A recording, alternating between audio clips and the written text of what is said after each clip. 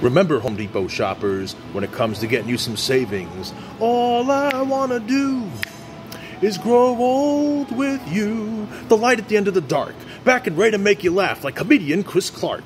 And now it's time for Showtime with Home Depot's Wedding Singer.